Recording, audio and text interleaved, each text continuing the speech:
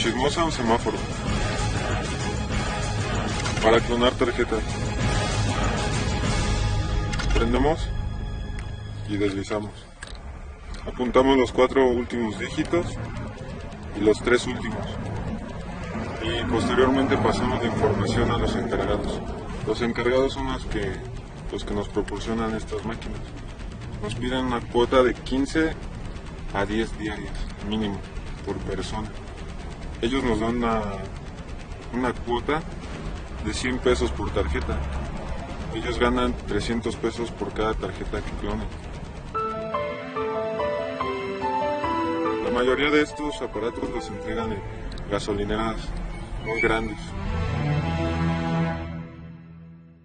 No, no se dan cuenta.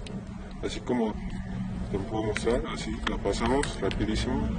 Ah, hay veces que al cliente lo distraemos y no, se da cuenta.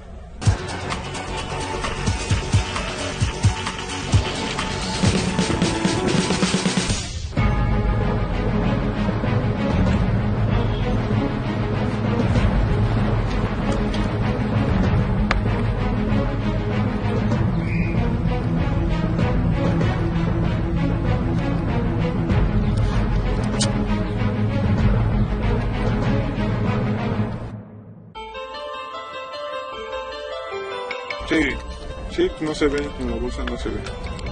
Se puede como camuflajear con la franela, con cualquier cosa. Lo podemos tener colgado en el cuello. No, yo creo que el cliente ha de pensar que son máquinas más grandes, que te has de tardar unos 5 minutos o algo así. Pero es cuestión de segundos.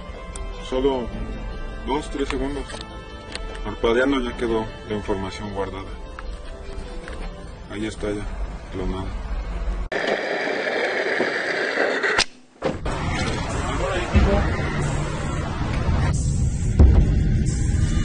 Pues que esperen hasta que salga el voucher, los dos vouchers y firmar al último. Porque en lo que están firmando se puede clonar la tarjeta.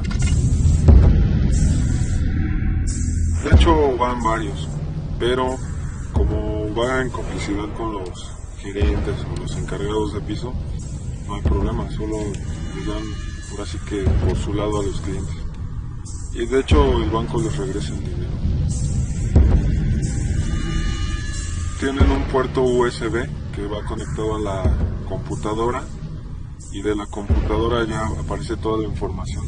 Aparecen nombres, eh, cada cuando, pues, por ejemplo, si es de nómina, cada cuando cobran los, los clientes, la cantidad total de lo que tiene la tarjeta.